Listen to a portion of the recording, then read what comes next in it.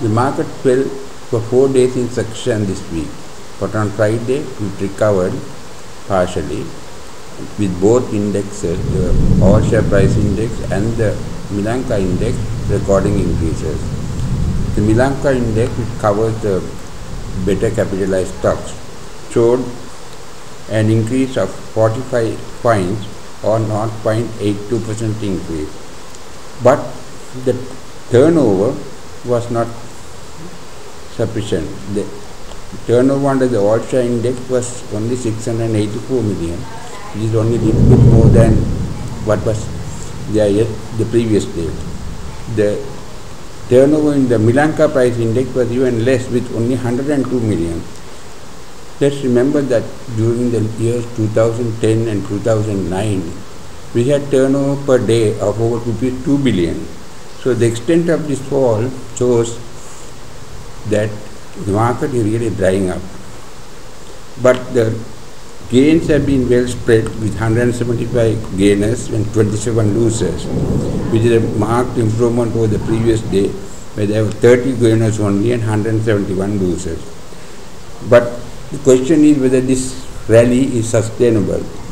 And here the question is to make a rally sustainable, there has to be liquidity in the market. There has to be much more investor support. But today's trading does not justify that. The increase in Milanka index was due mainly to the banking sector where there was increase in price and turnover of commercial bank as well as in some other less popular sectors but including hotels and health. The question is what where is the market heading? The problem is in my view the after 2009 when the war ended there was much hype about the growth in earnings and growth in the economy.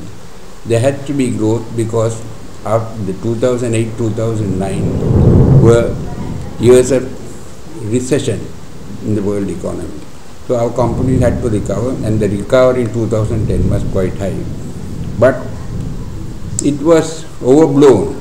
Was too much hype and the brokers who doubted the regulations regarding the 50% credit limit extended massive amounts of credit to clients, particularly high net worth clients who were able to push up the share prices and to unsustainable levels and with the herd instinct the others followed. But when they tried, when they disposed of their shares, the price fell steeply. In short, it was a bubble created by brokers and high net worth individuals. World over, bubbles Uh, do not last.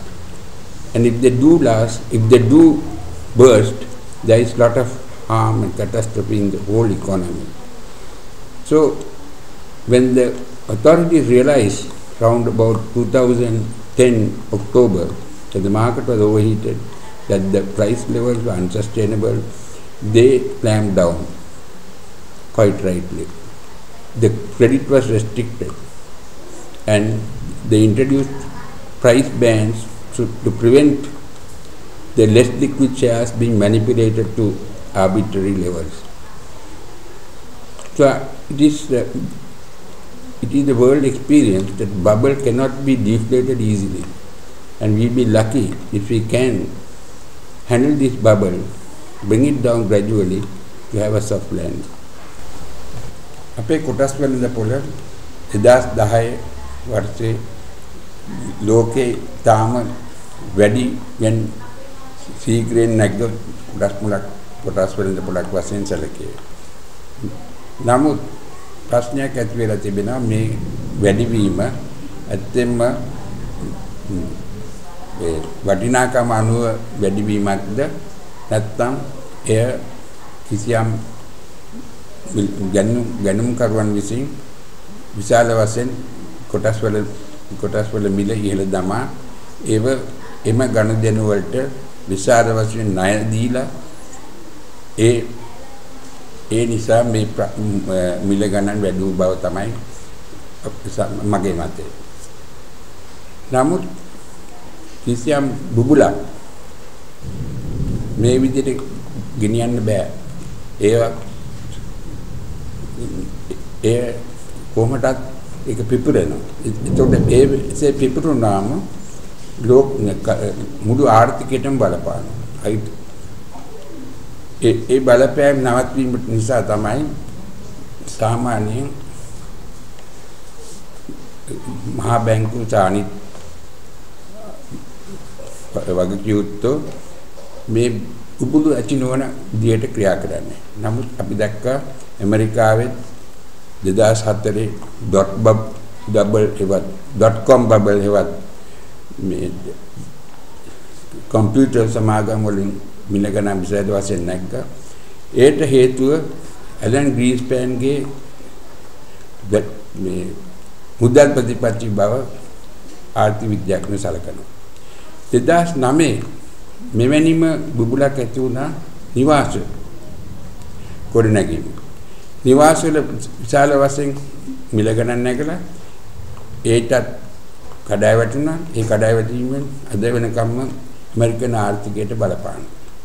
ඒ නිසා මේ බුබුලු ඇතිවීමට ඉස්සෙල්ලා ක්‍රියා කළ යුතුයි. එසේ නොකර බුබුල වැඩි වැඩි වුණාට පසුව ක්‍රියා කිරීමෙන් වෙන්නේ ඒ බුබුල එකපාරට පුපුරලා මුළු ආර්ථිකයටම ද වෙළඳ පොළද හානි කිරීමයි. අපේ වගකීම් මේ බුබුල ගැන සැලකුවේ ඔක්තෝබර් මාසේ 2010 පමණයි. එවිට බුබුල නැගලා වැඩි. ඒ නිසා මෙවැනි ක්‍රියාවක් ගන්නකොට ඒ කියන්නේ ණය පාසුකම් සීමා කිරීම බෝකටලට කිසියම් නීති රීති පැනවීම පැනවීමට වැඩි ක්‍රියා කිරීම නිසා මේ වෙළඳ පොළ සීග්‍රයෙන් පසුබැස්සා. ඒ தත්ත්වය තමයි තාමත් තිබෙන්නේ. මේ අවුරුද්දට වැටලා තිනවා 120ක් පමණ මිල ගණන්. ඒ වගේම පිරිවැය ප්‍රමාණය අඩු වෙලා තිනවා සීග්‍රයෙන්. දැන් දැන් තියෙන පිරිවැය වෙළඳ පොලේ මිලියන 600ක් පමණයි. අවුරුදු දෙකකට ඉස්සෙල්ලා තිබුණ බිලියන දෙකක්. ඉතින් අපිට පේනවා මේ වෙළඳ පොලේ తත්වය ගොඩනැගීම නැවත ගොඩනැගීම පාසු කාර්යයක් නෙමෙයි. නමුත් ආර්ථිකයේ දියුණුව තියෙනවා. ඒ වගේම කම්පැනි වලත් තමන්ගේ ආදායම් වැඩි වෙනවා. ඒ නිසා මේක නැවත ගොඩ ගැනීමට අපිට හැකියාවක් තියෙනවා. හැබැයි මේ තිබෙන ණය ණය බොල් ණය සියල්ලක්ම වගේ කපා හැරිය යුතුයි නැත්නම් අය කර යුතුයි පොත් වලින් ඒ අයින් කරනකම් මේ ප්‍රශ්නේ තිබෙනවා